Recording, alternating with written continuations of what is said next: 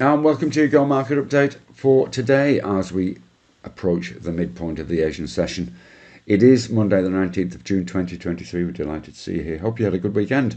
It's Mike Smith, senior analyst at Go Markets, to lead you around what's happening today.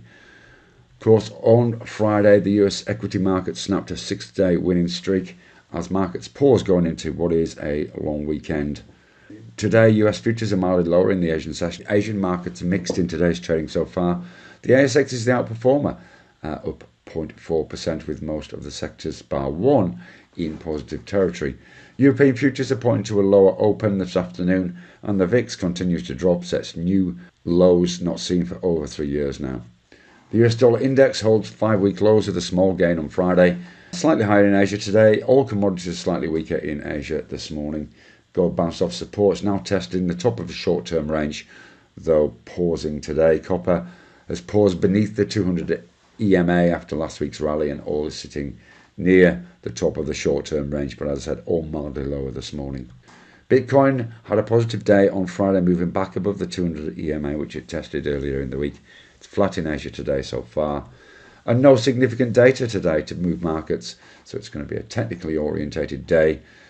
We do have the Chinese and Bank of England rate decisions later in the week. We've got global PMI numbers and, of course, Fed Chairman Jerome Powell testifying in front of Congress, being the week's highlights. A couple of charts that caught our eye today. Uh, the first is the GB pound Australian dollar, and you can see there we're just trading underneath this key level at around about 187.50 uh, this is a level that was last tested mid May, and after a, a pullback in this pair, we're seeing some Aussie weakness this morning uh, and could see a move up to this level later in the session. One to keep an eye on.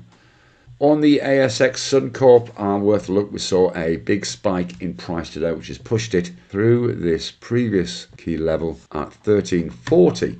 If we take this right back, you can see the context of this. This is highs not seen since 2019 on this stock. And there certainly looks to be some buying pressure coming in. Whether it's got enough momentum to take it over that $14.11 towards 14.50 remains to be seen. There could be a pause around 14, but at this stage, it looks pretty strong and one worth some consideration, depending on where it closes towards the back end of the trading session. Trade safe, and we'll see you again soon. Bye bye for now.